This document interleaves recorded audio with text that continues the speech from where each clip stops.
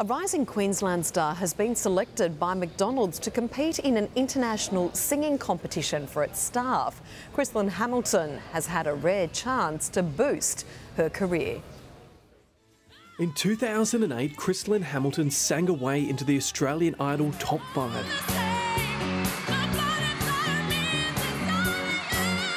For the past three years, the 20 year old has worked full time on a voice and part time offering fries with that. Bacon and egg muffin meal. Sweet. Now the girl with the golden voice has a shot in America, thanks to the Golden Arches.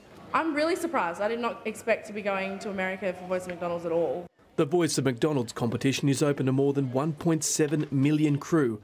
The final will be held in Florida. Chrislyn today gave us a taste of what to expect.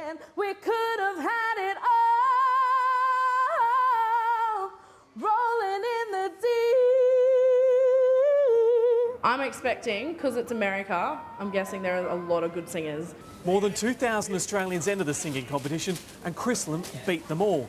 She then beat the best from 13 other countries. And with a first place of $25,000, who says flipping burgers doesn't pay.